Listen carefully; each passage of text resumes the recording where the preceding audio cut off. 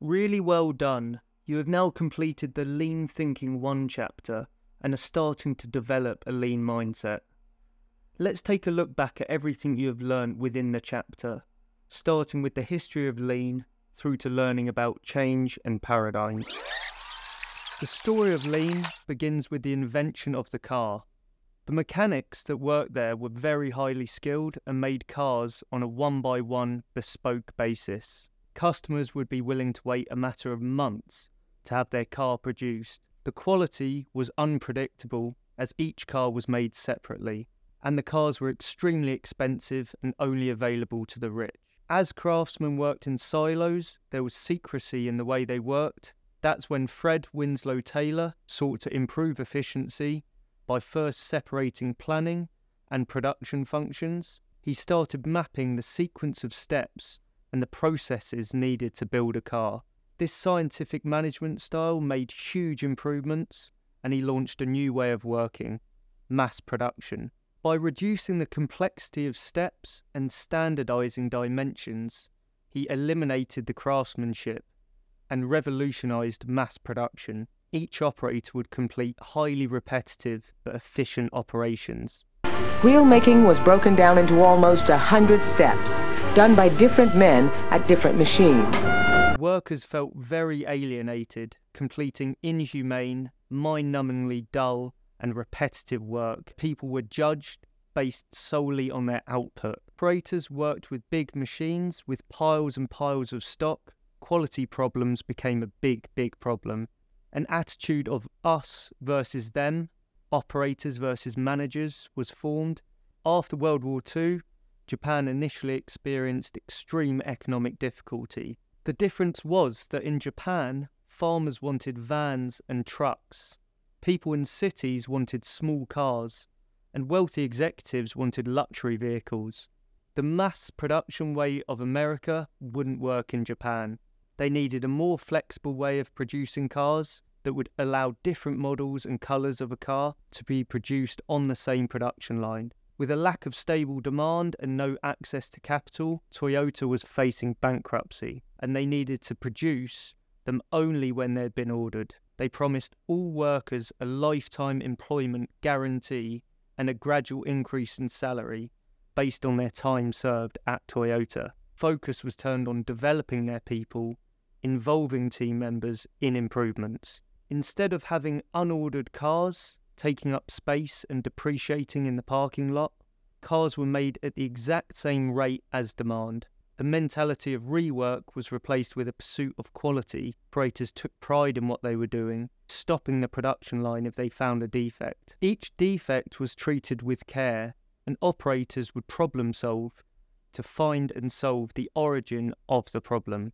Lean is not just applicable in large organisations, is equally applicable in small ones. With the next industrial revolution coined Industry 4.0, we are now seeing the further integration of lean and technology and a new wave of robotics and automation. Firstly, traditional managers take a I know best attitude where they make decisions by themselves in isolation without consulting and involving the people that are actually doing the process every day.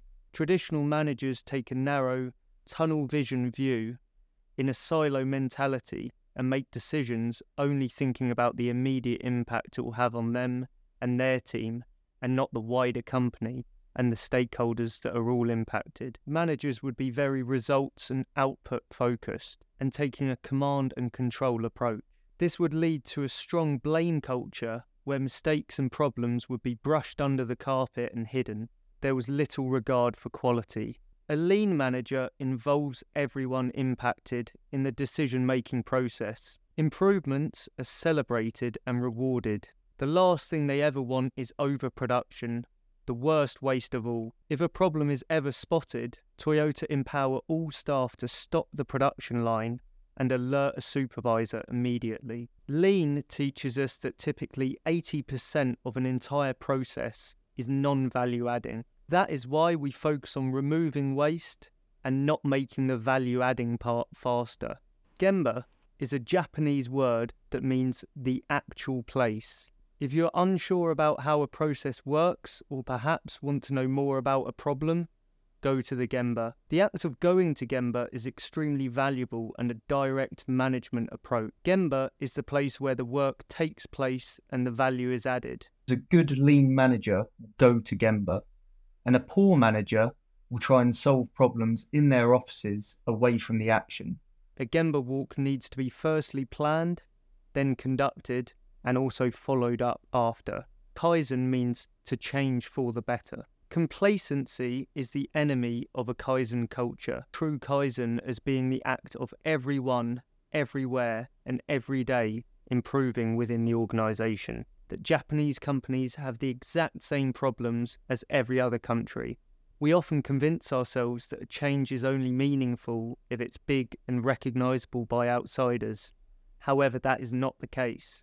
The idea of small improvements accumulating to get significant results can be explained through the phenomena of compounding. But as time goes on, these small improvements compound, and you find a very big gap between the companies that have improved 1% per day and the ones that haven't.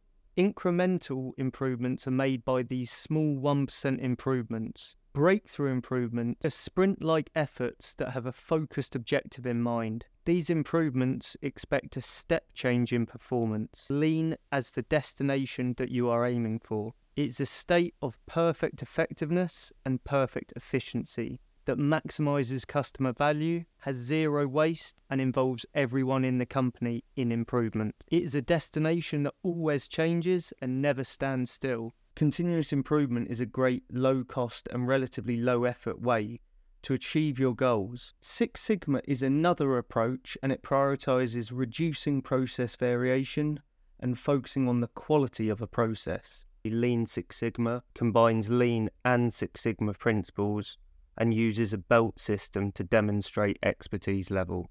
We're all resistant to change in some way, so let's first recognize that improvement requires change. To successfully make lean changes, we need to understand and effectively manage the change process.